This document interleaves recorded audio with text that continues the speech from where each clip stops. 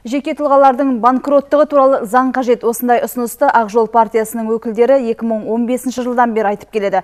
Құжат парламентте бірнеше рет қаралғанымен қабылданбаған. Қазір қоғамда бұл мәселе тағы талқыланып жатыр дейді депутаттар.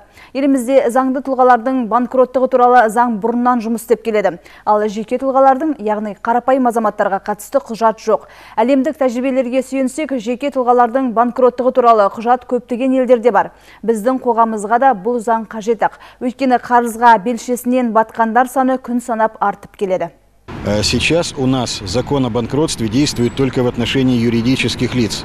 Заңды тұлғалар, яғни кәсіпкерлер қарызын қайтара алмаса, онда ол өзін банкрот деп жариялап, қалған сома есептен шығарылады. Осыны жұба қарапайым тұлғалар үшін де жұмыс істеуі тиіс. Өйткені бүгіндері банктен несие алып, оны төлей алмай жатқандар қаншама. Әрине бас жоқ көз жоқ барлығына бірдей қарыз кешіріле бермейді. Оның барлығы жіті тексеріліп, қаржының қайдан келіп жатқандығы, қанша жұмсалатындығы бәрі қаралатын болады